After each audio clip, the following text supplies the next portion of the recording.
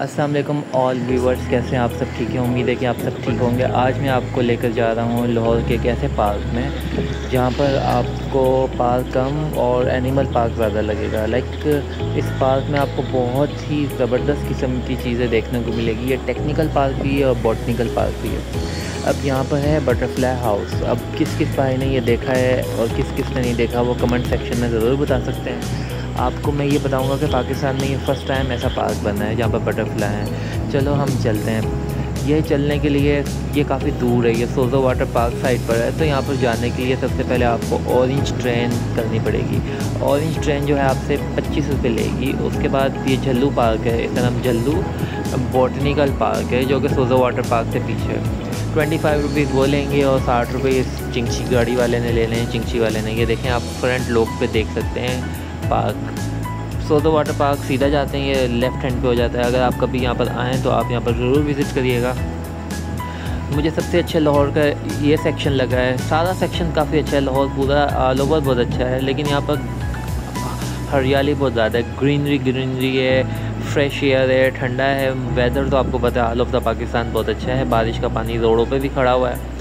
Like यहाँ के civil engineer अच्छे नहीं हैं। ऐसे रोड बनाते हैं कि पानी जो है ना बिल्कुल रोड पे खड़ा रहता है। अदरवाइज़ चले, मैं आपको बताता चलूँ, यहाँ पर ये जो फ़र्स्ट बैनर है, सौ, पचास, अस्सी, साठ, जो भी है, ये गाड़ियाँ और चिंची गाड़ियाँ और साइकिल खड़ी करने करने का पार्किंग एरिया और ये पार्किंग के चार्जेस हैं। और ये पार्क आप सबने भी शायद पहली दफ़ा ऐसा देखा हो, मैंने भी फ़र्स्ट टाइम देखा कि ये बहुत खूबसूरत पार्क है। ये बहुत ज़बरदस्त पार्क है और इस पार्क में सबसे अच्छा एक एरिया है और वो है बटरफ्लाई सेक्शन इतनी सारी दुनिया की खूबसूरत तितलियाँ, कोई बड़ी, छोटी, मैंने तो इतनी बड़ी थ्री फुट की एक बटरफ्लाई तितली भी देखी थी। स्टार्टिंग ट्रैक इनका ऐसा है, यहाँ पर बहुत साफ़ सुथरा माहौल है, बहुत नीट एंड क्लीन है और यहाँ पर वेल एजुकेटेड लोग ज़्यादा मुझे नज़र आए। ऐसे नहीं पार्क में जैसे चवली लोग होते हैं, इस तरीके का कुछ भी नहीं था। अब मैं आपको बताता चलूँगा, ट्रैक कितने नीट एंड क्लीन है। हर बंदा अपने अपने फ्रेंड और ग्रुप के साथ आया हुआ था यहाँ पर वॉक के लिए। बच्चे क्रिकेट वगैरह खेल रहे थे। ये इनका फ्रंट सेक्शन है, ये सेक्शन बहुत अच्छा है एल्बिक सेक्शन है। इसके बारे में तो मैं आपको बाद में बताऊँगा। फ़र्स्ट मैं आपको जिस मकसद के लिए लेकर आया हूँ यहाँ पर घुमाने के लिए, वो दिखाता हूँ। इनका ट्रैक देख लिया आपने और ये मेरे फैंस भी आप देख सकते हैं। हाई कर रहे थे मुझे। और मुझे मिलकर बहुत खुशी हुई। इन्होंने फ़र्स्ट टाइम मुझे मेरे यूट्यूब पे ही देखा था किसी व्लॉग में। तो बहरहाल, चलें, जब आपको छोटी छोटी अचीवमेंट्स मिलती हैं तो खुशी बहुत ज़्यादा होती है। और अगर आपने मेरा यूट्यूब चैनल सब्सक्राइब नहीं किया तो please subscribe my YouTube channel अब आपने ये देखा जूम करके जो मैं दिखा रहा था आपको स्टैचू इन लोगों ने वेस्ट मटेरियल जो था लकड़ियों का, उससे भी यूटिलाइज़ किया यूज़ करके। उसका स्टैचू बनाया है, कहीं मनकी है lion rabbit different different statue बनाए। और इस पार्क में हकीकत में ये टेक्निकल पार्क इसलिए मुझे अच्छा लगा कि यहाँ पर लकड़ियाँ भी वेस्ट नहीं हुई छोटी छोटी झाड़ियों का भी इन्होंने कुछ ना कुछ किया है। जो पर्पज़ था यहाँ पर लाने का, वो था बटरफ्लाई हाउस का और सामने देख सकते हैं आप, वो देखें, ये एक राउंड फिगर में एक बॉल नमूने का कुछ बना हुआ है और इसमें सारी की सारी तितलियाँ कैद है। अच्छा यहाँ पर जाने का टिकट है पचास रुपये का, लेकिन आपको बताता चलूँ कि ये अनफॉर्चुनेटली बंद था और लेकिन इसको खुलवाया था, इसका एक अलग सीन है, वो मैं आपको व्लॉग के एंड में बताऊँगा अदरवाइज़ मैं आपको बताता चलूँ। यहाँ पर ही एक एरिया है, जहाँ पर ये तितलियाँ थी बहुत सारी, और सारी तितलियाँ यहाँ पर आप देख सकते हैं, शीशों में कैद थी, और कुछ उड़ भी रही होती हैं। जब डोर ओपन करो तो छोटी छोटी आपके इस्तकबाल के लिए खड़ी होती हैं वेलकम करती हैं वॉल वेलकम करती हैं। अदरवाइज़ यहाँ पर एक सामने छोटी सी हट थी, और ये आपको जूम करके दिखा रहा हूँ तो आपको ये छोटी लग रही होगी। दूर से बहुत ऊँची थी और बहुत स्टेयर्स चढ़ के जाना पड़ता था राउंड स्टेयर तो मैंने अपनी स्टिक को कहीं सेट किया और मैं ऊपर जा रहा था। और यहाँ से सनरूफ बहुत अच्छा लगता है, जब ये सूरज ढलता है। और मैं तो कहता हूँ, जब सूरज आता होगा, जाता होगा, दोनों सेक्शन में यहाँ पर बहुत मज़ा आता होगा। अब आपको बताता चलूँ कि ये स्टेयर्स से यहाँ पर जाकर मुझे पता चला कि यार, पार्क कितना खूबसूरत है। मैं ऊपर चढ़ा, मैंने देखा, पार्क का व्यू माशाल्लाह, बहुत अच्छा पार्क था। आप लोग यहाँ पर ज़रूर हैं अपनी फैमिली के साथ। और ये डेटिंग पॉइंट भी आप आगे ऊपर सब कुछ देख सकते हैं और अपने ज़्यादा मोहब्बत भी कर सकते हैं। अदरवाइज़ यहाँ पर आके मुझे बड़ा सुकून मिला। लाहौर में ये बहुत अच्छी प्लेस थी। टेक्निकल पार्क जो था बटरफ्लाई पार्क या झल्लू पार्क इसके काफ़ी सारे नाम हैं, आप कुछ भी कह सकते हैं। गूगल पे ज़रूर सर्च करिएगा इसे। इसके अलावा अब ये चीज़ ख़त्म नहीं हुई। मैं आपको और बताऊँ तो पीछे इन लोगों ने एक और बहुत अच्छा सस्पेंस व्यू दिया हुआ था। यार, ये देखा जाए तो ऑल ऑफ़ द पार्क खूबसूरत नेमत से कम नहीं था। इस पार्क में बड़े बड़े दरख्त थे, इसमें फ्रूट्स भी लगे हुए थे, इसमें बहुत अच्छे फ्लावर्स थे, ये टेक्निकल पार्क है, इसमें लव पॉइंट बना हुआ है, सामने देखें सर्कल है, इन लोगों ने ये टाइल सर्कल बनाया हुआ है।